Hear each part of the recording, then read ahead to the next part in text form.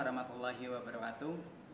Selamat pagi murid-muridku kelas 10 PHT SMK Musi.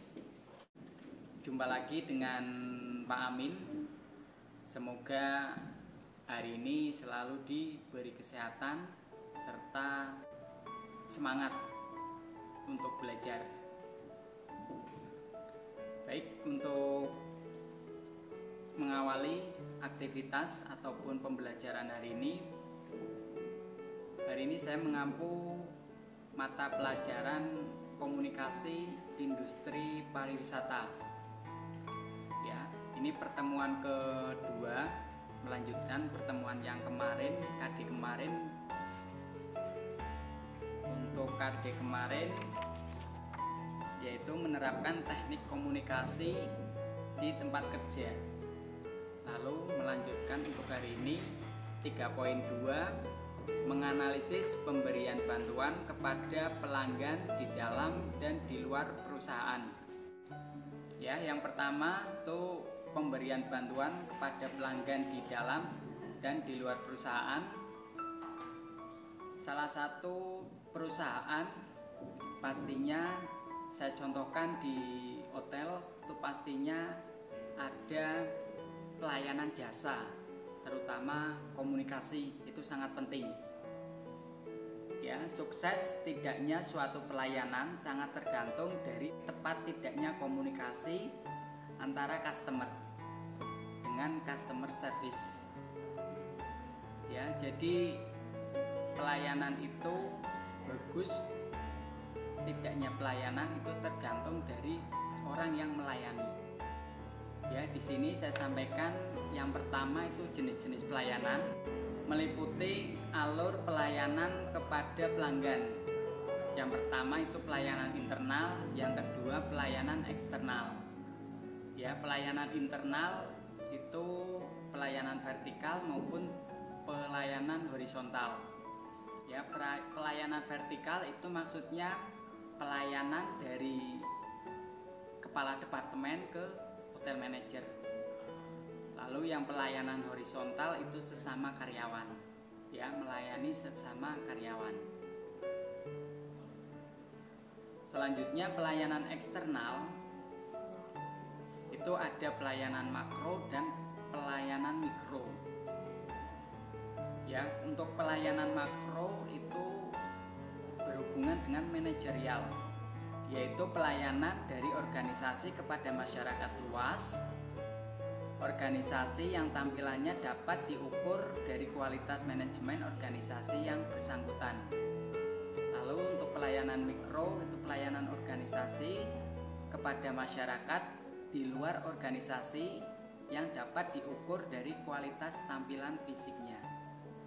Lalu yang B itu pelayanan ramah yaitu pelayanan yang dapat ditunjukkan antara lain Pertama, biasakan diri tersenyum dalam menghadapi siapa pun. Kedua, melakukan tegur sapa dengan pelanggan secara akrab. Yang ketiga, menanyakan kabar sebagai basa-basi adab timur. Lalu jika sedang sibuk, utarakan ungkapan yang dapat digunakan. Yang kelima, membantu membawakan barangnya dengan ikhlas jika ada pelanggan yang membawa bawaannya. Yang terakhir, biasakan menggunakan kata-kata yang baik dan tidak melukai hati pelanggan. Jadi sikap ramah itu penting di dalam suatu pelayanan. Lalu yang C, pelayanan profesional. Pegawai yang profesional itu adalah pegawai yang tahu dan menguasai bagaimana cara menyelesaikan permasalahan yang menjadi tanggung jawabnya dengan bijaksana. Ya, dengan demikian pegawai profesional dituntut memiliki kepribadian yang mantap, mampu bertanggung jawab dan berdedikasi tinggi. Lalu yang kedua itu penggolongan pelanggan. Yang A, pelanggan internal.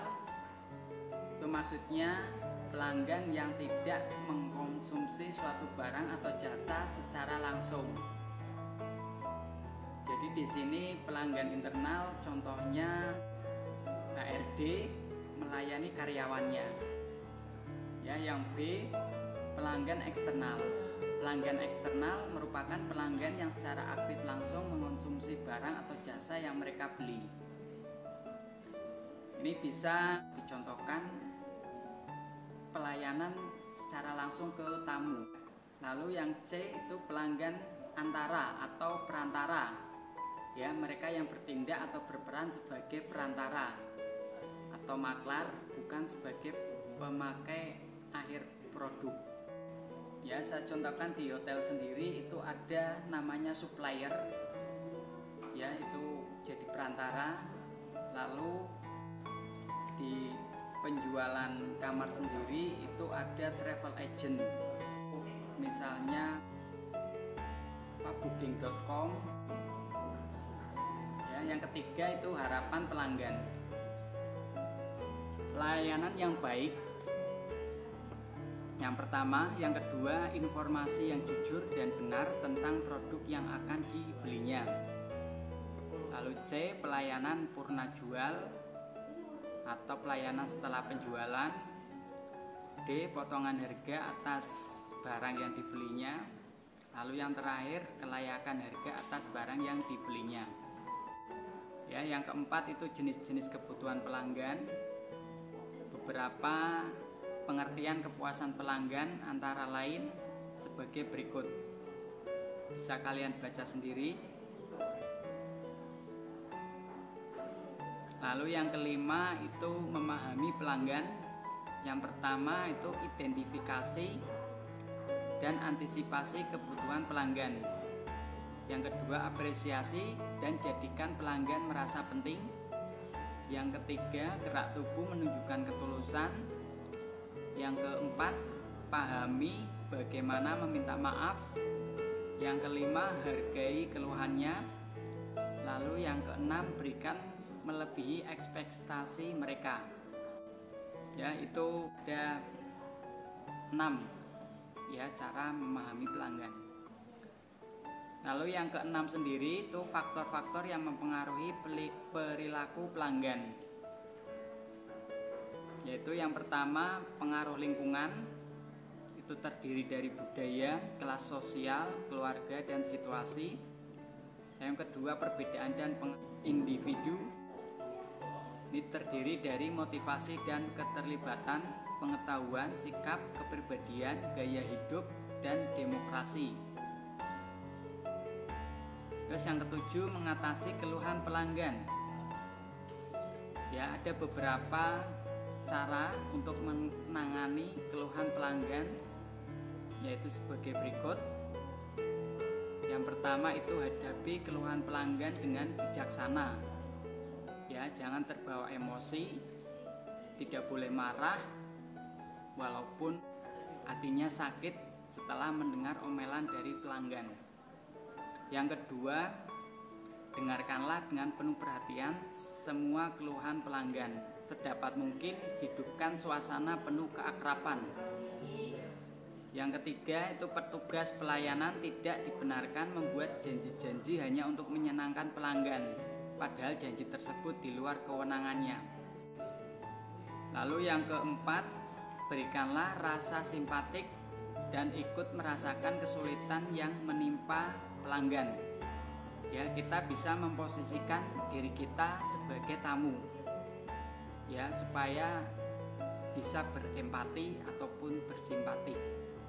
Yang yang terakhir itu tanggapilah keluhan tersebut dengan baik, sertakan ucapan maaf yang tulus dan berjanji akan memperbaiki kekurangan atas pelayanan yang diberikan. Jadi kita memastikan untuk tidak mengulangi hal yang sama ya terhadap keluhan tamu. Ya, lalu yang kedelapan ini pentingnya pelayanan prima kepada pelanggan. Ya, dasar melakukan pelayanan prima itu ada konsep A3. Yang pertama attitude, attention, dan action. Ya, bisa kalian baca sendiri apa itu attitude atau sikap lalu yang per, yang kedua itu konsep perhatian atau attention yang ketiga konsep tindakan atau action bisa kalian uh, sendiri lalu bagaimana cara atau yang bisa kita lakukan untuk memberikan pelayanan prima kepada pelanggan yaitu sebagai berikut yang pertama pelatihan pelayanan prima. Jadi membuat pelatihan pelayanan pelanggan terutama bagi customer service supaya dapat memberikan layanan yang cepat, tepat dan efisien. Yang kedua, itu pusatkan perhatian pada pelanggan. Ya, perhati, perhatikan nada bicara dan menjadi percaya diri tanpa emosi jika pelanggan datang membawa komplain ya jadi saat tamu atau pelanggan itu komplain kita perhatikan apa yang menjadi keluhan pelanggan. Lalu yang ketiga itu memberikan pelayanan yang efisien. Lakukan pada saat itu juga jangan biarkan pelanggan menunggu karena mereka ingin permasalahannya segera diselesaikan. Terus yang keempat pendekatan personal. Ingatlah nama setiap pelanggan meski jumlahnya banyak karena cara pendekatan personal seperti ini ampuh menjaring pelanggan loyal. Lalu yang kelima, membina hubungan baik dengan pelanggan, tunjukkan simpati, berbicara dengan penuh perasaan, dan berikan solusi untuk menunjukkan bahwa Anda paham keinginan pelanggan. Lalu yang terakhir, mengalihkan pelayanan ke pihak lain. Bila pelanggan meminta pelayanan di luar keahlian Anda, maka alihkan pelayanan tersebut pada pihak lain yang memiliki kemampuan. Ya, untuk pertemuan pada hari ini saya kira cukup supaya kalian paham dengan apa yang saya sampaikan di atas. Saya ingin memberikan uh, tugas ya yang harus kalian kerjakan. Ini ada lima soal. Tak tolong dikerjakan lalu difoto lalu kirim ke nomor handphone saya. Ya jangan lupa untuk uh, like and subscribe di YouTube.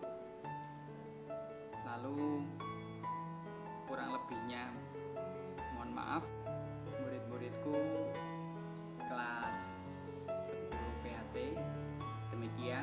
pelajaran yang saya sampaikan pada hari ini. Tolong untuk tugas-tugasnya dikerjakan ada lima soal supaya kalian paham apa yang saya terangkan pada pagi hari ini. Ya kurang lebihnya ya mohon maaf. Terima kasih. Wassalamualaikum warahmatullahi